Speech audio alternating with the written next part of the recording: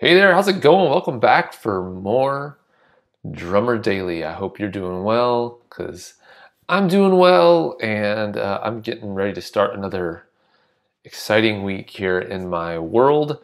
Um, I am trying a little different way of recording this today. It may not sound any different to you, but uh, if, if you don't like it or you love it, whatever it is, please uh, let me know um, what you think.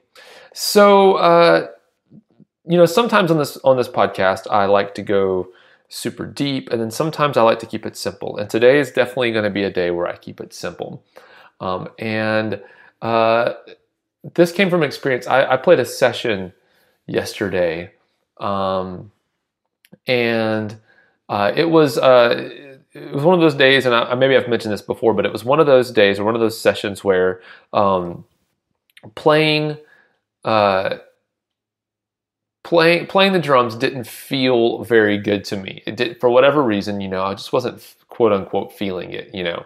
Uh, but uh, I, you know, it's one thing when you're practicing and you're not feeling it. You can find ways to try to get around that or or push through it or or whatever.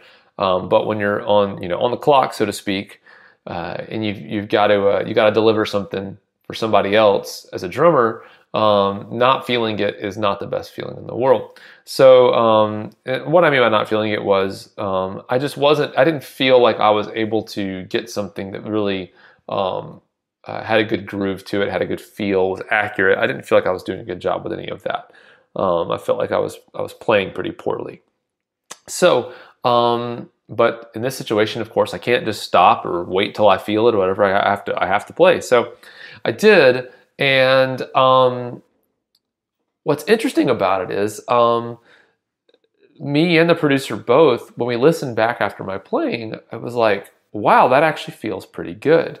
Um, and um, then, and I don't, I, you know, I can't tell you why what I did that made it feel good, or you know, but what it was was that I actually uh, the problem wasn't actually with my playing; it was with my perception of my playing. It was with uh, how I was in the moment of playing the part, how I was perceiving and feeling what I was playing. Um, and I had drifted into what I've talked to before, which is uh, talked to about talked about before, which is um, I was playing with my, my my hands. I was feeling the way everything felt with my hands and my feet. I wasn't listening to my playing with my ears to hear how it sounded when it lined up. That's really a tough thing to do. It's a concept I talk about a lot, which is um, you know don't don't let your uh, don't let the the feeling of your sticks impacting the drum or hitting the head. Don't let that feeling be the thing that informs you on how accurate you you are with your playing or how much feel you have or anything like that. Um, try to remove yourself from the feeling of those of those those hits happening and try to listen with your ears um, and and hear where things are lining up, not feel them um, which is kind of backwards. I know I'm always talking about trying to have play with feel, and then I'm saying don't feel something, listen to it. But uh, in this situation, I think this is what you do.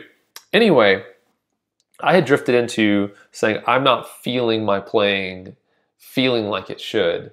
Um, but what was amazing was when we listened back to the recording, it was like, oh, that actually feels pretty good. Um, and it wasn't as bad, um, nearly as bad as I thought. And so this is why I always say uh, my advice to other drummers is always to video yourself or, or record yourself. Find some way to play and then be able to listen back to what you just played. Um, there's so much more perspective you gain, and and you know a lot of times the assumption when I say that is that you're going to find out places that you need to work on, which of course does happen a lot. It happens to me all the time. Uh, I find all kinds of things that are wrong with my playing, but every once in a while I actually surprise myself. And I'm like, wow, that was pretty good. Um, and and so I'm sure you'll find the same things out too. You you might listen back to something and be like, wow, that was better than uh, I thought it was. And I'm actually um, I'm recording this, and I'm about to head over to the studio to hang out uh, with someone on uh, one of my drum intensives, my two day intensive, where uh, a drummer comes into town, and we work in the studio and we do a recording session and all kinds of stuff. Um, I'm actually about to about to head over there after I do this podcast. Um, but when I do these intensives, um, a lot of times when we do the recording uh, session, a lot of times the drummers themselves will notice the same thing. They'll actually be surprised at how good they are. Um, they'll they'll say, "Wow, I didn't didn't realize I played that that well." And, and, when they hear themselves back the first time after doing the the tracking, they're they're almost always surprised at how good it sounds and how solid their playing is. Um, because in the moment, maybe they're not perceiving it very well, or um, you know, you just don't, you never know. And so, um, the more you can listen back to yourself playing, the more, of course, you'll find things to work on, but also the more you'll find that you are actually a better drummer than you think sometimes. Um, so, I thought this, I know it's early in the week when this episode comes out.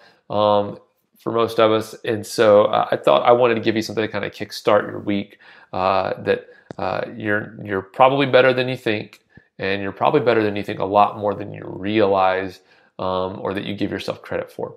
So record yourself and find those things that actually are better than you expected, not just the things to work on, but listen for things that actually surprise you in a good way. That's good fuel to keep going and keep working and keep improving. All right, we'll talk again soon. Thanks for joining me today. Bye for now.